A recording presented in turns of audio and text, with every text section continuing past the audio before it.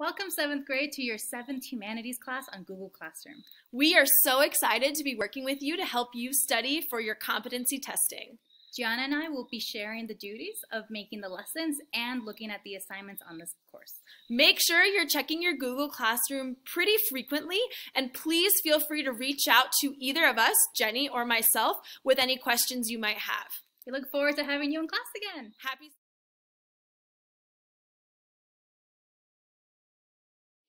and today we're going to review the present simple tense. You're probably wondering, why are we reviewing the present simple? We've already done this in class. Well, the present simple tense is one of your competencies. So in order to move on to the next grade, you need to be able to read, write, and speak using the present simple tense perfectly, or as close to perfect as you can get, okay? So today, we are gonna practice and review so you can start studying for your competency testing. So, before we start, let's focus. Let's focus hard, just like Scooby and the gang do when they're trying to solve a mystery, okay? Make sure you have a pen, pencil, or piece of paper with you so you can practice and follow along during our lesson today. So, what is the present simple tense? I'm sure you remember this from class, but we are talking about the tense that describes the present, or what is happening right now. For example, I, Gianna, talk to my students. I wear a headscarf. I smile. All of those actions are happening right now and they are in the present simple tense. So, when do we use the present simple tense? Scooby is wondering too. For two main reasons when we are talking about things that are happening in the present, duh, and when we talk about habits. We talked about habits a lot this year. Habits are things we do every day or every week that are part of our routine. One of my habits is going to the gym. Every day I go to the gym, as you can see here. That is a habit, okay? I use the present simple to talk about my habit. So, what is our present simple secret formula? Our secret formula is we take our subject, we give it a verb, and we add S or ES.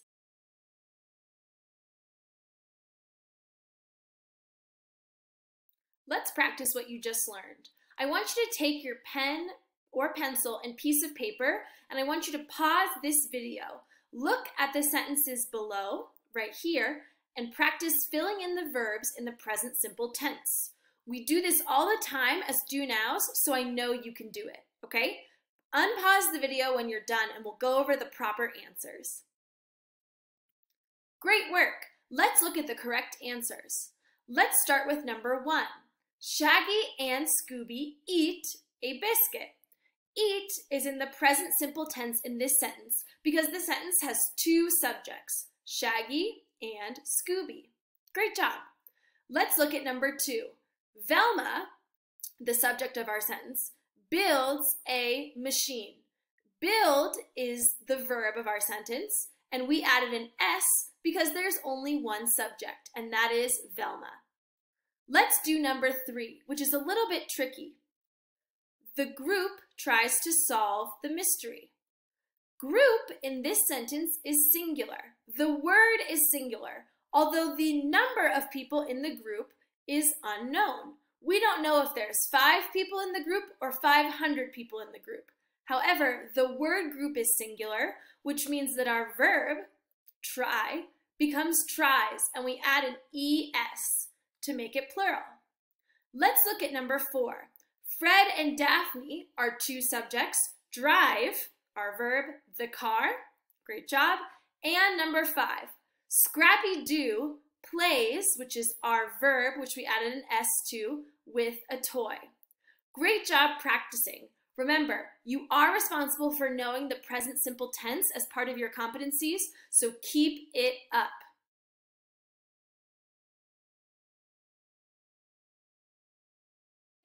Let's do another practice activity. I want you to pause this video and grab your pen, pencil, and piece of paper. I want you to write six sentences about what you do during Ramadan in the present simple tense. Make sure every sentence you write starts with a capital letter and ends with a full stop. Proper punctuation matters, okay? When you're done, unpause the video for some last minute review. Awesome job practicing!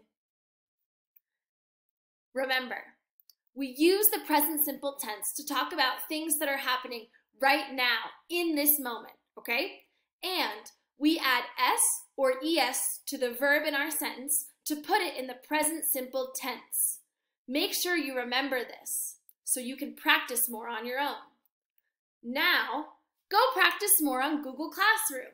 Log into your 7th grade humanities classroom on Google Classroom and practice what I have given you for your assignment, okay? If you have questions or concerns, feel free to, to ask them to me on Google Classroom as well.